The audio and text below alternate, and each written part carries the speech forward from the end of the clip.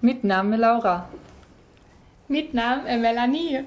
Mitt Name ist Sarah. Ein bisschen Schwedisch lernen kann ja nicht schaden, wenn man in Schweden zumindest Guten Morgen sagen kann. Guten Morgen. Fußball spielen gelernt hat Melanie Leupolz wie die anderen beim SC Freiburg.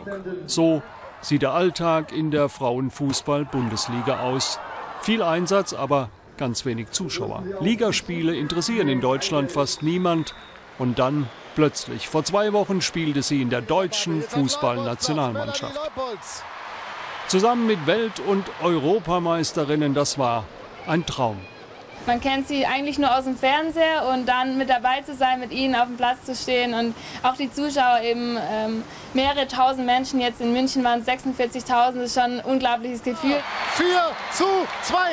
Gewonnen. Und nach dem Jubel ging es erstmal wieder in die Schule mit Fiebern, denn die Jüngste hatte mündliche Abiturprüfung in Französisch.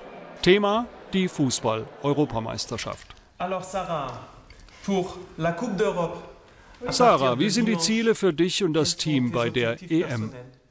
Pour l'équipe, je- j'espère que nous euh, gagner la finale. Naja, sagt Sarah, ich hoffe, wir gewinnen das Finale und werden Europameister. Le championnat d'Europe.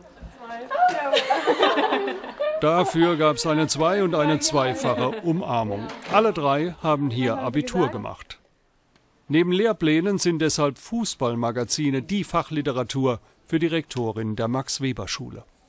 ist das eine schöne Sache, wenn man dann Fernsehen guckt und sagt, die hat bei mir Rechnungswesen gelernt oder die hat bei mir Deutsch oder Französisch, Mathematik oder gehabt. Ich meine, da stellt man sich da schon ein bisschen auf im, im, im Sessel, oder? Zumal es die Mädels wie Melanie Leupolz im Nationaltrikot richtig gut machen. Leupolz. Oh, macht die das cool. Mädchen, das ist ein Länderspiel hier. Das macht die super. Drei Freiburgerinnen bei der Europameisterschaft, wer hätte das gedacht? Wenn uns das jemand vor einem halben Jahr gesagt hätte, dass wir alle drei bei der M dabei sind, hätten wir natürlich erstmal, denke ich, gelacht, weil wir natürlich alle jetzt nicht damit gerechnet haben. Naja, und wenn sie schon mal dabei sind, dann wollen sie auch etwas erreichen. Was heißt etwas? Sie wollen alles. Sie wollen den Titel oder wie heißt das auf Schwedisch? Viva Titeln! Was? Vita? Okay, stopp. Vita. Okay.